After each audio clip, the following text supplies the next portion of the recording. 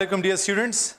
In the previous class, we discussed about uh, certain words like if we are getting words like good morning, good evening, good afternoon, good noon, good morning, goodbye, etc. So what we have to do with that? Along with this, we discuss the words that are to be omitted.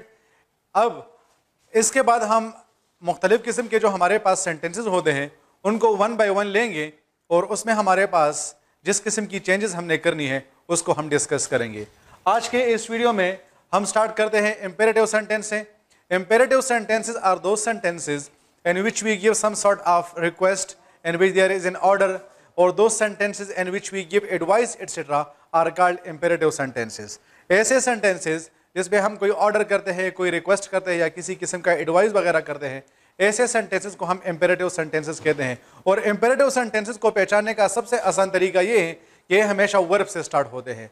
और इससे previous lectures में मैं कई बार आपको ये बता चुका हूँ कि imperative sentence always starts with first form of the verb आप उसके साथ एस नहीं लगाएँगे ई एस नहीं लगाएँगे डी नहीं लगाएँगे ई डी नहीं लगाएँगे आई एन जी नहीं लगाएँगे। अगर आप इस तरह करते हैं तो आपका जो आंसर होगा, वो गलत कंसिडर होगा।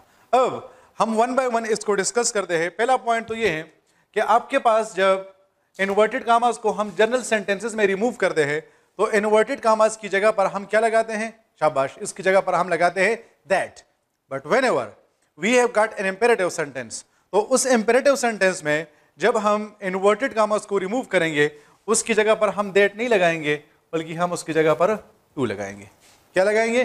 टू लगाएँगे। जनरल सेंटेंसेस में हम जब इन्वर्टेड कामास को रिमूव करते हैं तो उसकी जगह पर देट लगाएँगे, लेकिन यहाँ पर हम देट नहीं, बल्कि हम टू को यूज़ करेंगे। तो ये पहला रूल हुआ। दूसरा रूल ये है कि जनरल सेंटेंसेस में हमारे पास जो सेट आया होता है हम उसको चेंज नहीं करते हैं।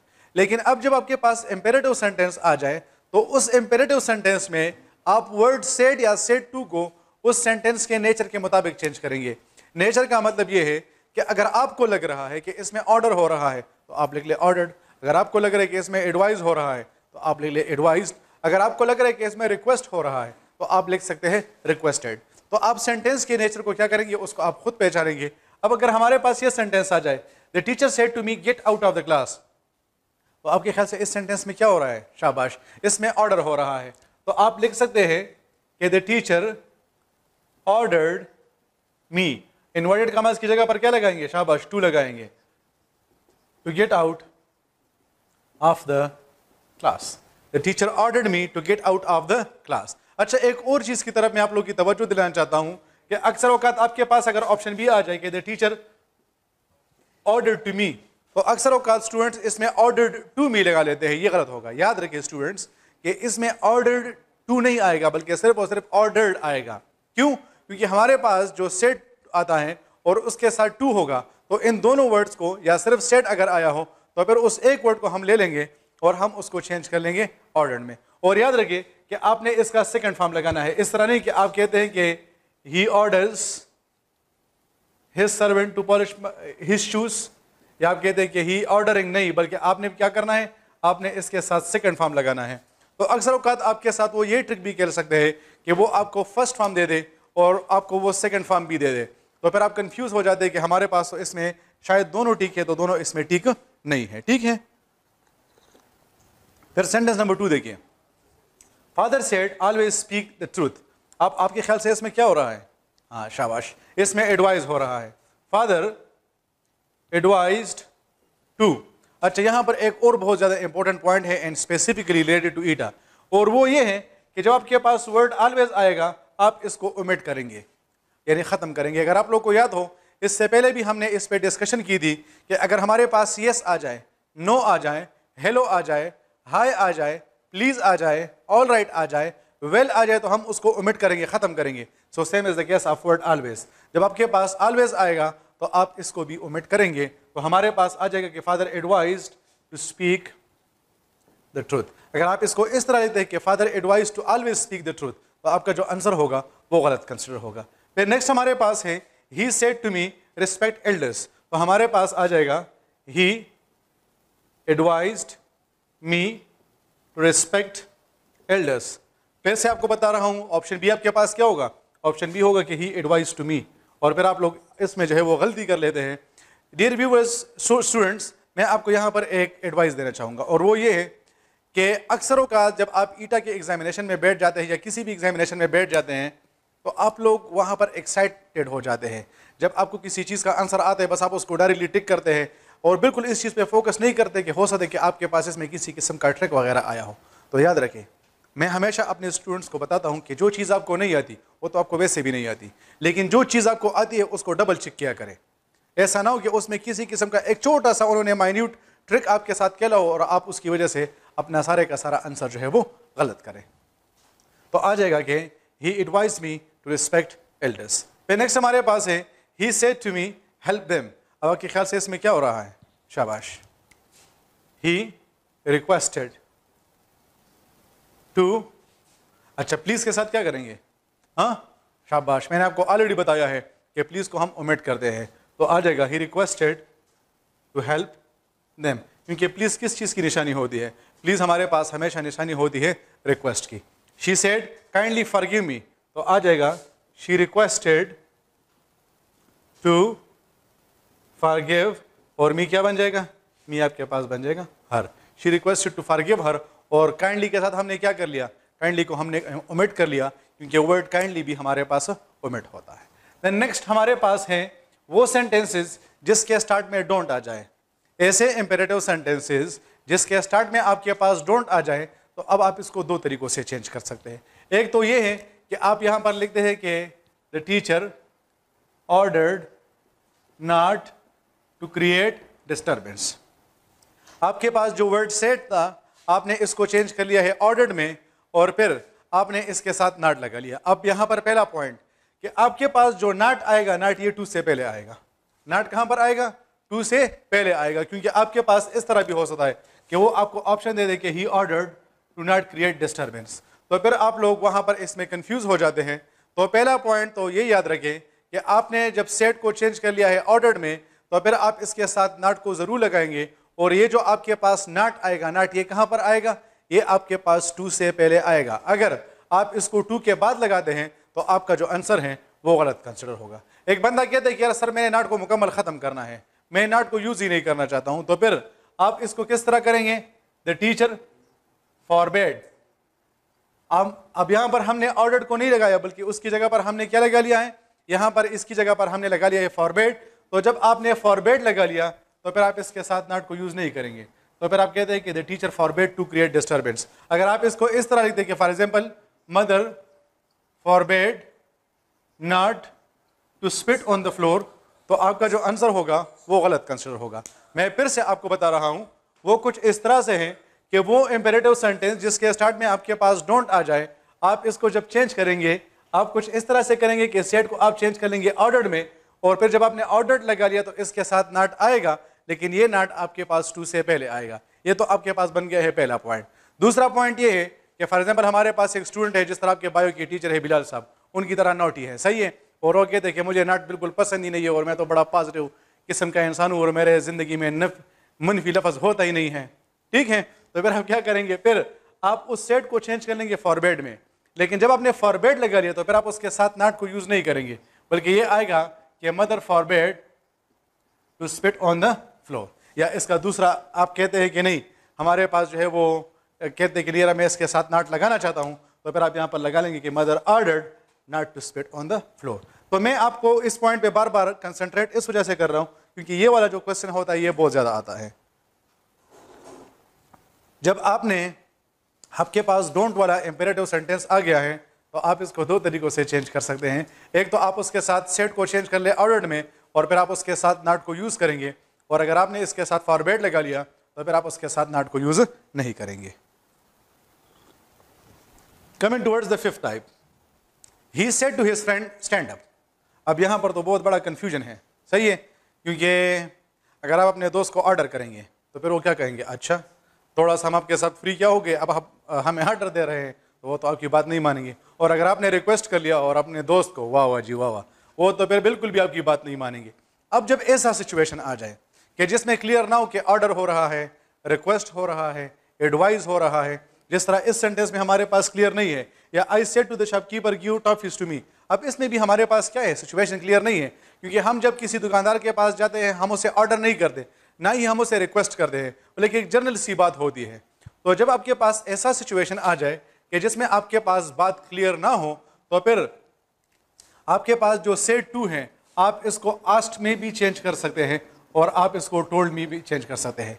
लेकिन ये आस्ट और टोल्ड आपने तब लगाना है जब आपके पास कंटेक्स्ट क्लियर ना हो। अगर कंटेक्स्ट क्लियर है तो फिर तो आप ऑर्डर लगा ले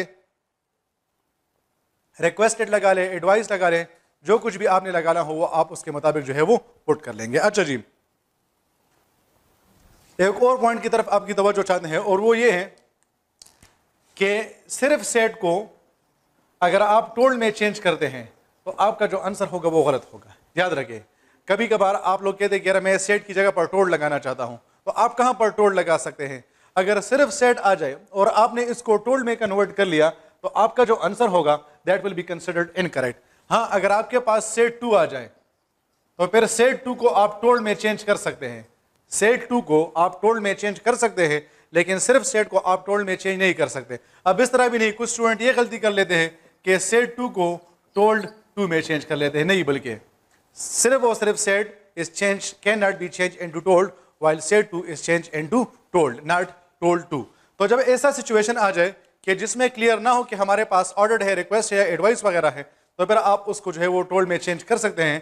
तो आप लगा ले कि he told his friend to stand up he told his friend to stand up या मैं यहाँ पर इस तरह भी लिख सकता हूँ दूसरे सेंटेंस को कि I said to the shopkeeper give toffees to me I asked the shopkeeper to give toffees to me अब देखिए, मैंने यहाँ पर आस्ट लगाया है। आपके पास ऑप्शन सी इस या ऑप्शन बी इस तरह होगा कि आस्क्ड टू तो नहीं भाई, हमारे पास आस्क डू टू और टोल्ड टू नहीं आ सकता। बल्कि आस्क और टोल्ड के बाद अगर हम टू लगाते हैं तो हमारा जो आंसर होगा, वो गलत कंसिडर होगा। तो ये जो रूल नंबर फाइव है, इसका ज़्यादा जो रिलेशनशिप है, वो इसी चीज़ के साथ है कि आया, हम जो ये बात कर रहे हैं, इसमें हम ऑर्डर कर रहे हैं रिक्वेस्ट कर रहे हैं एडवाइस वगैरह कर रहे हैं कि नहीं? तो अगर कंटेस्ट क्लियर नहीं आ रहा है तो फिर तो इसका मतलब हमारे पास ये बन जाएगा कि हम इसमें आस्ट या टोल्ड को लगा ले। यहाँ पर मैंने आपको टोल्ड का कंसेप्ट भी क्लियर कर दिया है कि सिर्फ़ सेट को आप टोल्ड में चेंज नहीं कर सकते सेट टू को आप टोल्ड में चेंज कर सकते हैं। अब यहाँ पर आपने इसको टोल्ड टू में भी चेंज नहीं करना है। Coming towards the six sentence he said let us go outside अब वो सेंटेंस जिसमें आपके पास लेट अस आ जाए तो आप सेट को ले लें और लेट अस को ले लें और आप इसको चेंज कर ले सजेस्टेड में। He suggested to go outside अगर आपके पास किसी सेंटेंस में, के स्टार्ट में लेट अस आ जाए लेट अस भी हमारे पास इंपेरेटिव सेंटेंस की निशानी होती है तो आप सेट को और लेट अस को, इन तीनों को ले लें और आप इसको चेंज कर लें सजेस्टेड में। और फिर आप इसकी जगह पर इन्वर्टेड कामर्स को रिमूव करके उसकी जगह पर टू लगा ले और बाकी आप जो है वो क्या करें? बाकी उस सेंटेंस को रिपीट करें। वैसे अगर आप से एक स्टूडेंट या एक बंदा आपसे, आपका फ्रेंड वगैरह आपसे ये पूछे कि, यार, मैं सजेस्टेड के साथ टू नहीं लगाना चाहता हूँ। तो फिर इसके लिए हमारे पास कोई रूल है कि नहीं? तो याद रखें, इस सेंटेंस को मैं इस तरह भी लिख सकता हूँ। I suggested writing examples I suggested writing examples क्या मतलब है इसका? इसका मतलब ये है कि जब आपने वर्ड सजेस्टेड लगा लिया है तो आपके पास अब दो ऑप्शन हैं। ऑप्शन वन तो ये है कि आप उसके बाद टू लगा लें और फिर आप उस सेंटेंस को उसी तरह रिपीट कर लें। और ऑप्शन बी आपके पास ये है कि आप सजेस्टेड के बाद इस इन्वर्टेड कामर्स को कम्प्लीटली रिमूव करें और फिर आपके पास जो वर्ब बच जाएगा वर्ब आप उसकी जगह पर क्या करें? आप उसकी जगह पर आई एन जी लगाए। अब अगर आप कहते हैं कि I suggested to writing examples then your answer will be differently considered incorrect आपके पास आंसर तब कंसिडर करेक्ट कंसिडर होगा जब आप सजेस्ट के बाद या तो टू लगा लें, या आप उसके बाद टू नहीं लगाते तो फिर आप उसके बाद आई एन जी फॉर्म लगा लें। अच्छा स्टूडेंट अक्सर अवकात स्टूडेंट्स ये पूछते हैं कि ये ऑर्डर्ड और कमांडेड में क्या फ़र्क है? फॉर एग्ज़ाम्पल हमारे पास आ जाए सेंटेंस आ जाए कि the commander said stay in line the commander said stay in line और आपके पास यहाँ पर दो ऑप्शन हो कि the commander ordered to stay in line और दूसरा आ जाए कि the commander commanded to stay in line the commander commanded to stay in line और आपके पास ऑप्शन सी इस तरह नहीं कि बोथ ए एंड बी तो फिर आपके पास कौन सा वाला ठीक होगा? तो याद रखिए जब आपके पास फोर्सेस की बात आती है फोर्सेस की यानी आर्मी की बात आ जाए पुलिस की बात आ जाए मलेशिया की बात आ जाए लेवीज वगैरह की बात आ जाए एयरफोर्स वगैरह की बात आ जाए तो फिर आप वहाँ पर सेट को कमांडेड में चेंज कर सकते हैं और अगर जनरल सिचुएशन हो जिसमें हम फोर्सेस की बात नहीं करते हैं तो फिर आप उसमें ऑर्डर लगा सकते हैं फिर से सुने कि अगर फोर्सेस की बात हो तो आप वहाँ पर सेट को कमांडेड में चेंज करें और अगर आम सिचुएशन की बात हो जिसमें हम फोर्सेस की बात नहीं करते हैं तो फिर आप सेट को ऑर्डर में चेंज कर सकते हैं। तो इम्पेरेटिव सेंटेंसेज में हमने ओवरऑल सेवन कंटेक्स्ट को डिस्कस कर लिया। नंबर वन ऑर्डर्ड वाला लगा ले। नंबर टू कमांडेड वाला लगा ले। नंबर थ्री एडवाइज्ड वाला लगा ले। नंबर फोर रिक्वेस्टेड वाला लगा ले। नंबर फाइव आपके पास ऑर्डर्ड भी आ सकता है और फॉरबेड भी आ सकता है। नंबर सिक्स में आप आस्ट या टोल्ड लगा सकते हैं, जबकि लास्ट जो आपके पास टाइप है, इसमें आप सजेशन वगैरह दे सकते हैं। इसमें जो बेसिक पॉइंट है, वो यही था कि आप जब इन्वर्टेड कॉमर्स को रिमूव करेंगे तो बाकी सेंटेंसेज में आप टू लगा सकते हैं। सॉरी डेट लगाएँगे लेकिन इसमें आप टू को यूज़ करेंगे। अब इम्पेरेटिव सेंटेंसेस के बाद हम डिस्कस करते हैं इंट्रागेटिव सेंटेंसेस को। Interrogative sentences are those sentences in which we ask some sort of question etcetera ऐसा सेंटेंस जिसमें हम क्वेश्चन uh, करते हैं या ऐसा सेंटेंस जिसमें हमें इंफॉर्मेशन की ज़रूरत होती है ऐसे सेंटेंसेस को हम इंट्रागेटिव सेंटेंसेस कहते हैं। और इंट्रागेटिव सेंटेंसेस के पहचानने का सबसे आसान तरीका ये है कि इसके एंड में हमारे पास साइन ऑफ़ इंटारोगेशन आता है। ये जो हम इस तरह का मार्क लगाते हैं, इसको हम साइन ऑफ़ इंटारोगेशन भी कह सकते हैं।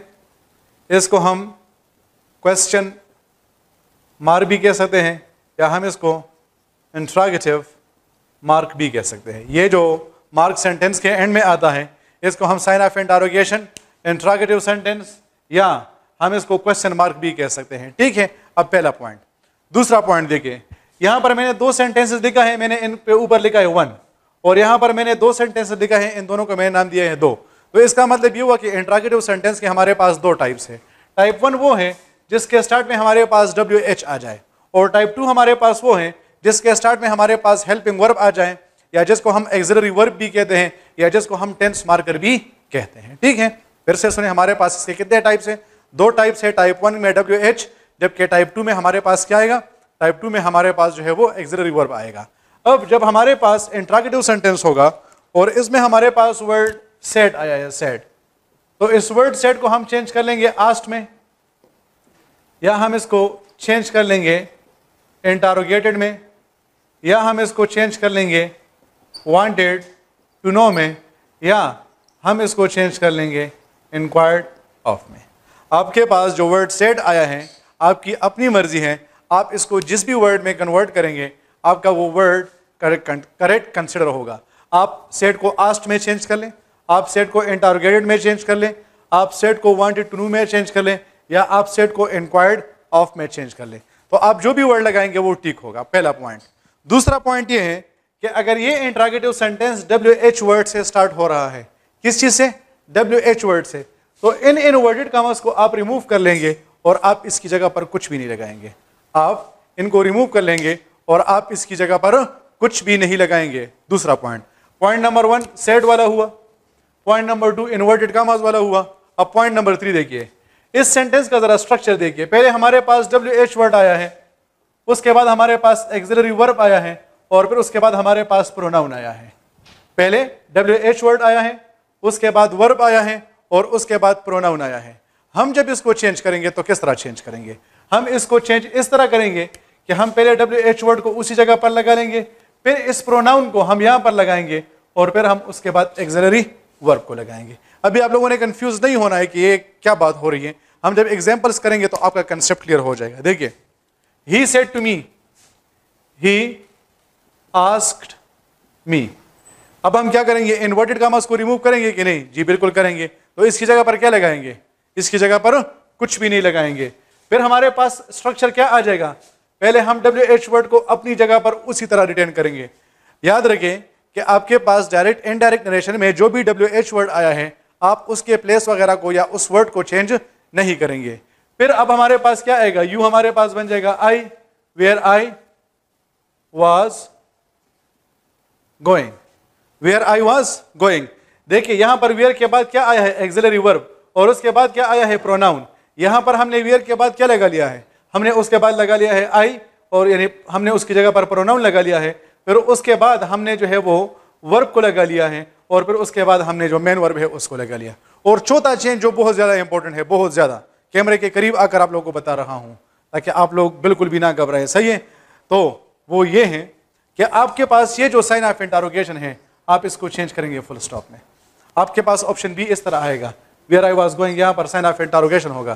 फिर आप लोग चीखना शुरू कर देते कि हमारे पास तो दोनों ऑप्शन सेम है। तो भाई दोनों ऑप्शन कभी भी सेम नहीं होते। हमेशा उसमें कुछ ना कुछ ट्रिक होगा। और वो यहाँ पर जो मेन वाला ट्रिक है वो ये है कि इन लोगों ने आपको साइन ऑफ़ इंटारोगेशन भी दिया है और आपको फुल स्टॉप भी दिया है। So remember that whenever we are converting an interrogative sentence into indirect narration, that sign of interrogation is changed into full stop. फिर दूसरा सेंटेंस देखिए। She said to me what is your name तो क्या आएगा? She inquired of me what my name was. And you see that we have also changed the order of the sentence. जिस तरह हमारे पास पहले डब्ल्यू एच वर्ड आया था, उसके बाद एक्सरी वर्ब आया था और उसके बाद प्रोनाउन आया था, हमने इसको चेंज करके पहले डब्ल्यू एच वर्ड लगा लिया, फिर हमने उसके बाद प्रोनाउन लगा लिया, फिर हमने उसके बाद वर्ब लगा लिया और जब सेंटेंस एंड हो गया तो बजाय इसके कि हम यहाँ पर साइन ऑफ़ इंटारोगेशन लगाए, यहाँ पर हमने फुल स्टॉप को लगा लिया है। ये तो हमारे पास इंट्रागेटिव सेंटेंस का पहला टाइप बन गया है। दूसरा टाइप भी बिल्कुल इसी तरह है। उसमें सिर्फ़ और सिर्फ़ आपने एक और चीज़ की एडिशन करनी है और वो ये है कि हम जब W H W H word वाले इंट्रागेटिव सेंटेंस में क्या कर रहे थे? उसमें हम जब इन्वर्टेड कामाज को रिमूव कर रहे थे तो उसकी जगह पर कुछ भी नहीं लगा रहे थे। लेकिन यहाँ पर फिर हम क्या करेंगे? इन्वर्टेड कामाज को हम रिमूव करके इसकी जगह पर एफ़ लगाएँगे या वेदर लगाएँगे। टाइप वन में जो हमारे पास डब्ल्यू एच वर्ड वाला है, हमने जब उसमें क्या कर लिया? हमने जब उसमें इन्वर्टेड कामाज को रिमूव कर लिया तो हमने उसकी जगह पर कुछ भी नहीं लगाया। लेकिन यहाँ पर हम जब इन्वर्टेड कामाज को रिमूव करेंगे, उसकी जगह पर एफ़ लगाएँगे। या वेदर लगाएँगे, बाकी वही वाली चेंजेस होगी कि सेट को आप इन चारों वर्ड्स में चेंज कर लेंगे। इन्वर्टेड कामास एफ़ और वेदर आ जाएगा। सेंटेंस का स्ट्रक्चर देखिए, पहले क्या है? एक्सिलरी वर्ब है।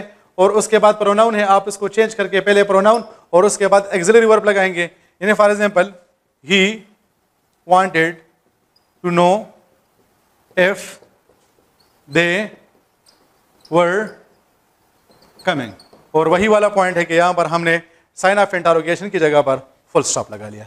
फिर नेक्स्ट सेंटेंस देखिए she said is it easy so she interrogated whether it was easy बस बात खत्म। तो ये आपके पास है कि किस तरह आप साइन ऑफ़ इंटारोगेशन को चेंज करेंगे। अच्छा यहाँ पर मैं आपको एक दो तीन सेंटेंस है जो कि बार बार ईटा में रिपीट होते हैं। सही है? उसके बारे में थोड़ा सा बात करते हैं। अगर सेंटेंस आ जाए। He said is it good sentence number one he said is it good और बैड। दो सेंटेंसेस है he said is it good और दूसरा सेंटेंस है he said is it good और बैड। अब आपके पास आंसर इस तरह है। He asked if it was good दूसरा के पास है he asked whether it was good इसका आपके पास है he said if it was good और बैड। और दूसरा आ जाए कि he asked whether it was good और बैड अब अगर ऑप्शन सी हमारे पास आ जाए कि बोथ ए एंड बी तो बस फिर तो बात खत्म, फिर तो हमारे पास ये सारे का सारा लान जाइए खत्म हो जाएगा। लेकिन यहाँ पर हमारे पास ऑप्शन ए है कि he asked if it was good option B है कि he asked whether it was good और हमने इन दोनों में से फॉर एग्ज़ाम्पल ये हमारे पास ऑप्शन ए है और ये हमारे पास ऑप्शन बी है। And same is the case of this MCQs this is option A and this is option B और इन दोनों में से हमने एक को सिलेक्ट करना है तो फिर कौन सा वाला ठीक होगा? मैं फिर से बता रहा हूँ that this question has been repeated so many times in your past papers. So you need to focus on this point. And the point is कि अगर किसी सेंटेंस में और आ जाए और, किसी सेंटेंस में अगर और आ जाए तो फिर उसमें जो राइट right ऑप्शन होगा वो वेदर होगा। और अगर किसी सेंटेंस में और नहीं है तो फिर उसमें राइट ऑप्शन एफ़ होगा। फिर से बता रहा हूँ टीक दोनों है। एफ़ भी टीक है और वेदर भी टीक है। लेकिन हमने इन दोनों में से एक को सिलेक्ट करना है मस्ट आइए हैं। तो फिर कौन सा वाला टीक होगा? So if O R or has been मैं in the sentence then you will have to put whether with it and if or has not been मैं in the sentence then you will have to use if with it if you have but option C and option C is both A and B then definitely you will take option C that both A and B are right but as you if you look at these two option in these two options in one sentence, F has been given to us, while in the second sentence, weather has been given to us, and we have not been told that whether option, uh, option C is the correct one or not. So in this kind of situation, then you should be looking that if no R has been used, then F is the right option, and if or has been use then whether is the right option तो revise करते हैं lecture के and में हमारे पास दो बातें हैं interrogative sentence में हमारे पास डब्ल्यू एच वर्ड वाला सेंटेंस भी है और हमारे पास एफ़ एक्सिलरी वर्ब वाला सेंटेंस भी है। अगर ये हमारे पास इंट्रागेटिव सेंटेंस वाला है तो हम उसमें से इन्वर्टेड कामर्स को रिमूव करके उसकी जगह पर कुछ भी नहीं लगाएँगे। और अगर हमारे पास ये एक्सिलरी वर्ब वाला है तो इन्वर्टेड कामर्स को रिमूव करके उसकी जगह पर एफ़ या वेदर लगाएँगे। दूसरा पॉइंट तीसरा पॉइंट ये है कि आप उस सेंटेंस के स्ट्रक्चर को चेंज करेंगे प्रोनाउन को वर्ब से पहले लेकर आएँगे। And the fourth point is कि आपके पास जो साइन ऑफ़ इंटारोगेशन होगा you will change it into first of thank you very much